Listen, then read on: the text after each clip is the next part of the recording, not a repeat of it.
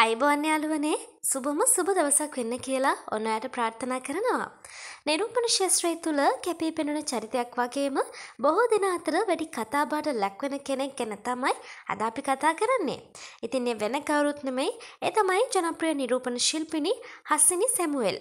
ඔන්න හස්සිනි ගැන කියන කලින් ඔයාට මුලින්ම මතක් කරනවා ඔය තාමත් අපේ YouTube channel එක subscribe කරලා නැතිනම් මේ දැන්ම subscribe කරන්න.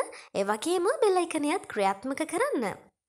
ඉතින් හස්සිනි සැමුවෙල් රැප්ගායකෙක් වන ෆිල්ඩි සමගින් විවාහවීමත් එක්ක ඇයි ගැන ගොසිප් මැවීම අඩුවක් නම් වුණේ නැහැ.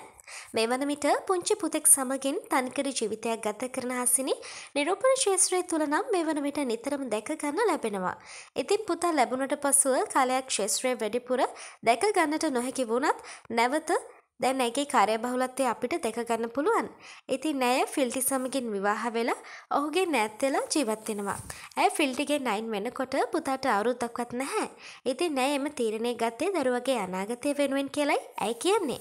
කොහොම නමුත් ජීවිතේ ලොකු අභියෝගයක් වුණු තනිකර ජීවිතය තුළ ඇගේ වටිනාම සම්පත දරුවා. ඒ ගැන වගේම ශ්‍රේෂ්ත්‍රයේ ගැන හසිනි සෙමුවෙල් ඇගේ අදහස් දක්වලා තිබුණේ මෙන්න මේ විදිහට.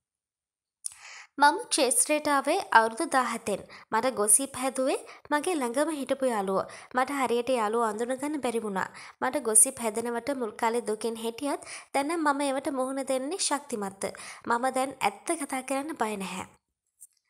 ඉතින් යාළුවනේ මෙන්න මේ විදිහටයි ඇය අදහස් දක්වලා තිබුණේ. ඔන්න ඔයාට ආයෙත් මතක් කරනවා ඔයා තාමත් අපේ YouTube channel එක subscribe කරලා නැතිනම් මේ දැන්ම subscribe කරන්න. ඒ වගේම bell icon-යත් ක්‍රියාත්මක කරන්න කියලා. ඉතින් තවත් ලස්සන වීඩියෝක් වලින් හමු වෙන බලාපොරොත්තු වෙමින් මම අදට ඔබෙන් සමු ගන්නවා.